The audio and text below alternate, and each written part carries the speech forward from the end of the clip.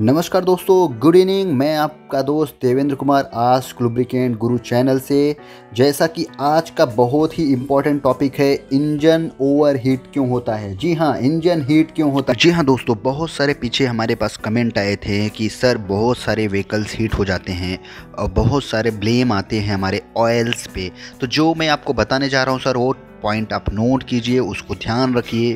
तो जैसा हम आगे वीडियो बढ़ने से पहले, दोस्तों, ये हमारे चैनल्स को सब्सक्राइब कर लीजिए बेल आइकन दबा दीजिए, क्योंकि आने वाले आगे की वीडियो बहुत ही महत्वपूर्ण है आपके लिए। जी हाँ दोस्तों, टायर का जाम होना। अगर हमारा टायर जाम है तो हमारा पूरा बाइक का प्रेशर इंजन पे जाएगा, क्योंकि बाइक को जिस रफ्तार से भागनी चाहिए, उस रफ्तार से बाइक नहीं चलती, पूरा प्रेशर इंजन पे जाता है। कभी कभी हमारे मैकेनिक भाई पंक्चर बनाते समय टायर को थोड़ा टाइट कर देते हैं। इस वजह से पूरा प्रेशर इंजन पे जाता है। तो सबसे पहले हमें ये चेक करना है, कहीं हमारा टायर तो जाम नहीं है। दोस्तों, हमारे इंजन में लगे हुए कार्बोरेटर की सेटिंग सही होनी चाहिए, जिससे कि एयर व फ्यूल का मिक्सचर सही तरीके से हो जाए और फ्यूल अच्छे से बर्न हो जाए। अगर कार्बोरेटर की सेटिंग सही नहीं होगी तो ओवर हीटिंग की प्रॉब्लम हो सकती है। उसके लिए आपको मैकेनिक को दिखाना पड़ेगा, उसको सेटिंग बराबर कराना पड़ेगा। दोस्तों, जब हम बहुत देर तक किसी ट्रैफ़िक जाम में फंस जाते हैं तो हमारा इंजन हीट होना चालू हो जाता है।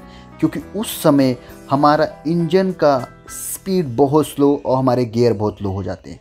और गियर को हम बार बार हमें चेंज करना पड़ता है। एक्सीटर देना पड़ता है ब्रेक देना पड़ता है। तो उस दरमियान हमारा ऑटोमेटिक इंजन धीरे धीरे हीट होना चालू हो जाता है। बहुत देर तक हम लो गियर पे गाड़ी चलाते हैं तो इस वजह से भी हमारा इंजन हीट होता है। हमें इंजन ऑयल को हमेशा चेक करते रहना चाहिए कि वह अपने सही लेयर तक है या नहीं। अगर नहीं है तो हमें इंजन ऑयल रिफ़िल करा लेना चाहिए।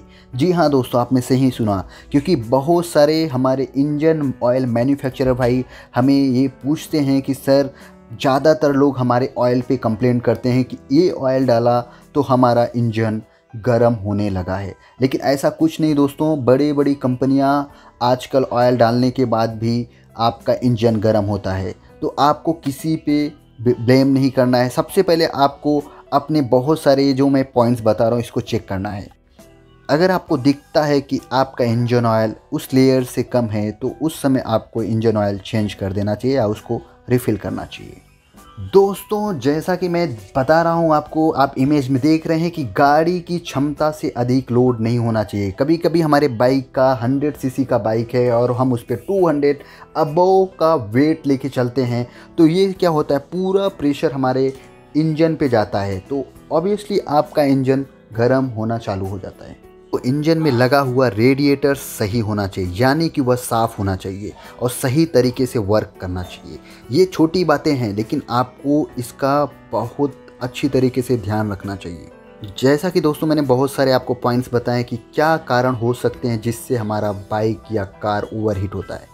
तो आपको ये लास्ट में और मैं एक पॉइंट बता रहा हूँ, सर, जिस इंजन में एयर कूलिंग सिस्टम होता है। जी हाँ जिस इंजन में एयर कूलिंग सिस्टम होता है, उसमें ओवर हीटिंग का प्रॉब्लम ज़्यादा होता है।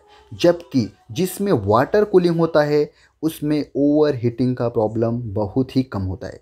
इसमें इसलिए कम होता है क्योंकि इसमें रेडिएटर लगा होता है, जो बहुत तेज़ी से हमारे इंजन को कूल करता है दोस्तों। थैंक यू सो मच ये वीडियो देखने के लिए दोस्तों। हमारे चैनल्स को सब्सक्राइब कर दीजिए बेल आइकन दबा दीजिए। आगे आने वाले वीडियो आपके व्हीकल के लिए बहुत ही महत्वपूर्ण है। Thank you so much bye